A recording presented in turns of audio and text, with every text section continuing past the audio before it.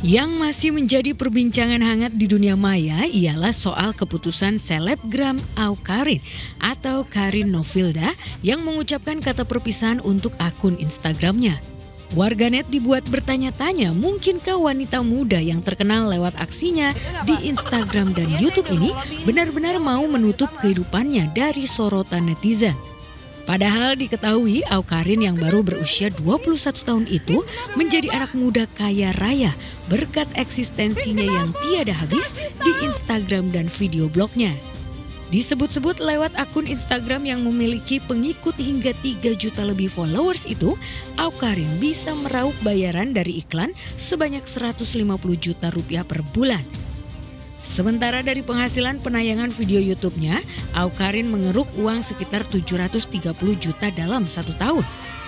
Punya uang selangit berkat kreasinya di akun media sosial membuat Aukarin terbilang beruntung karena awalnya Karin bukanlah selebriti. Lalu apa sebenarnya yang membuat lulusan pesantren ini rela meninggalkan keberhasilannya tersebut? Menurut Karin, ia memang ingin berhenti sebagai selebgram karena ingin menjalani kehidupan selayaknya orang biasa yang jauh dari sorotan kamera.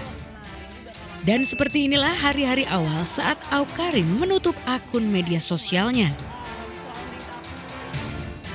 Namun ada pula yang menyebut keputusan Aukarin itu didorong karena kegalauannya atas kisah cinta dengan sang pacar.